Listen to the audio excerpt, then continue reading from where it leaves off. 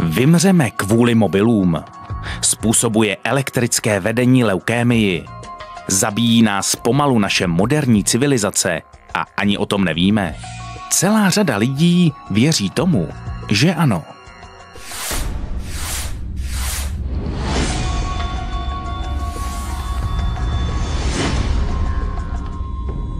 Začátkem 80. let se ve Spojených státech objevuje hrozivá teorie.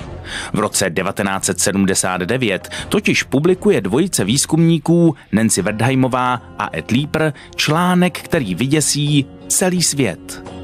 V blízkosti vedení vysokého napětí v Denveru je totiž podle nich četnější výskyt dětské leukémie.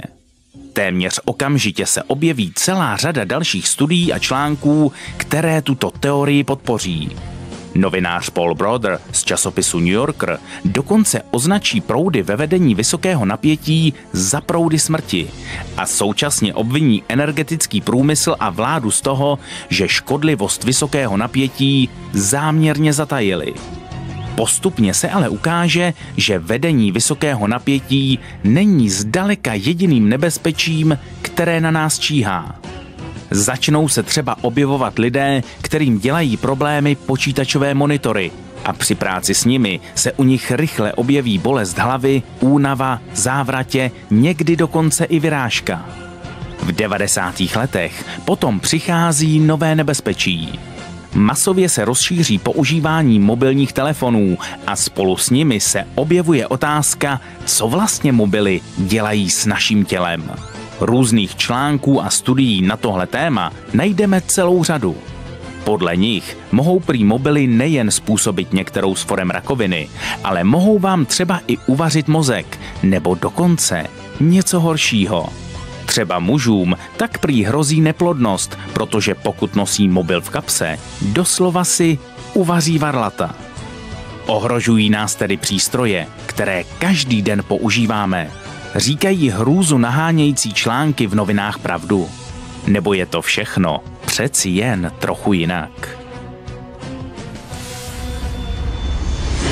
Pojďme se podívat, kdy se vlastně poprvé objevila zpráva o ohrožení lidstva vedením vysokého napětí, vysílači nebo třeba běžným elektrickým spotřebičem. I když se už od 20. let minulého století objevovaly po celém světě velmi výkonné rozhlasové vysílače a po válce se k ním přidali ještě vysílače televizní, ku podivu nic z toho podobnou zprávu nevyvolalo. Například vysílače, ale přitom rozhodně nenajdeme na opuštěných místech. Většina z nich byla velmi často stavěna přímo v centrech měst. Ku podivu k žádnému masovému vymírání nedošlo a žádná panika se nešířila. Poprvé se totiž jakákoliv podobná panika objevila právě v souvislosti se zmíněnými články Nancy Wertheimové a Eda Lípra v roce 1979 ve Spojených státech protisk šlo pochopitelně o lákavé sousto a tak se zjednodušená informace dostala velmi rychle do světa. I když se v následujících letech víc než 100 detailních výzkumů snažilo souvislost mezi výskytem leukémie a vedením vysokého napětí potvrdit, ku podivu se nepodařilo. Jenže to už jako zpráva zajímavé nebylo. A podobný vývoj najdeme snad u všech senzačních článků a rychlostudií na téma nebezpečí mobilů, mikrovlnek nebo třeba monitorů. Jistě, že pokud patříte mezi relativně malou skupinu lidí, kteří jsou velmi citliví, může vám počítačový monitor opravdu způsobit zdravotní problémy. Většiny lidí se ale sledování monitoru nijak nedotkne. Jistě, že když si stoupnete těsně vedle výkonného vysílače, nepochybně se ohřejete. Toho mimochodem využívala obsluha vysílačů už téměř před stolety, když se k ním v zimě chodila ohřát. Už tehdy ale věděli, že nemají takové ohřívání přehánět a vědět bychom to mohli i my.